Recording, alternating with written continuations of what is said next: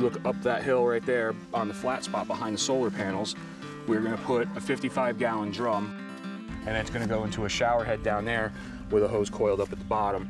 And then we have actual hot water.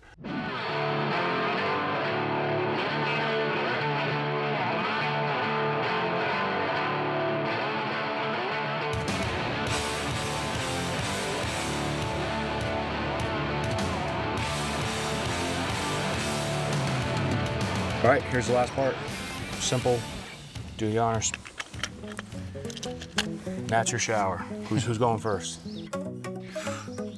I mean, I think we all need it. so you want to just stand here and just blast it? Nice. All right, let's know how it goes. It's great to have a warm shower after working, after being unplugged all day.